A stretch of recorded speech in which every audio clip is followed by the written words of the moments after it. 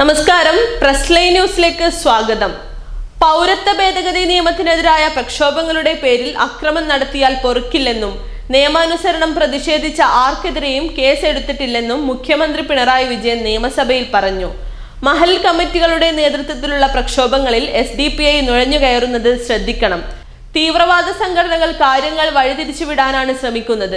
പ്രക്ഷോഭങ്ങളുടെ മറവിൽ ജനങ്ങളെ ഭിന്നിപ്പിക്കാനും മതസ്പർദ്ധ വളർത്താനും ശ്രമിച്ചാൽ ശക്തമായ നടപടിയുണ്ടാകും.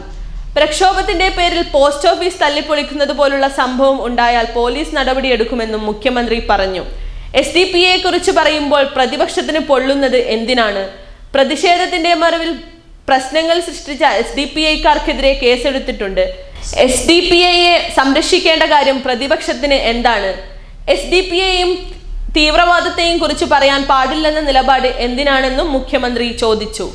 പൗരത്വ ഭേദഗതി നിയമത്തിനെതിരെ വിവിധ സംഘടനകളുടെ പ്രക്ഷോഭം നടക്കുന്നുണ്ട്. മുഖ്യധാരാ പ്രസ്ഥാനങ്ങളെല്ലാം പ്രക്ഷോഭത്തിന്റെ ഭാഗമായുണ്ട്. ഇത്തരം പ്രക്ഷോഭങ്ങളെ പ്രതികൂലമായി ബാധിക്കുന്ന ഏതെങ്കിലും ഇടപെടൽ സർക്കാരിന്റെ ഭാഗത്തു നിന്ന് ഉണ്ടായിട്ടില്ല. യോജിച്ച പ്രക്ഷോഭങ്ങൾ കൂടുതൽ ശക്തമാക്കുമെന്ന് തന്നെയാണ് സർക്കാർ നയം. മഹല്ല് കമ്മിറ്റികൾ സമാധാനപരമായി പ്രക്ഷോഭം നടത്താൻ ശ്രദ്ധിക്കും. ചിലയിടങ്ങളിൽ എസ് ഡി പി ഐക്കാർ നുഴഞ്ഞുകയറി പ്രശ്നങ്ങൾ സൃഷ്ടിച്ചു. അത്തരക്കാർക്കെതിരെ നടപടിയും എടുത്തിട്ടുണ്ട്. ആലുവയിൽ സമരത്തിൽ പങ്കെടുത്ത യുവാവിന് പോലീസ് ക്ലിയറൻസ് അനുവദിച്ചില്ലെന്ന വിഷയം സർക്കാരിന്റെ ശ്രദ്ധയിൽപ്പെട്ടിട്ടില്ല. ഒരു പോലീസ് സ്റ്റേഷനിലും ഇങ്ങനെയൊരു നടപടി ഉണ്ടാക്കാനിടയില്ല. അങ്ങനെയുണ്ടെങ്കിൽ പ്രത്യേക കേസായി പരിശോധിക്കാമെന്നും മുഖ്യമന്ത്രി ചോദ്യങ്ങൾക്ക് മറുപടിയായി പറഞ്ഞു. News desk press live T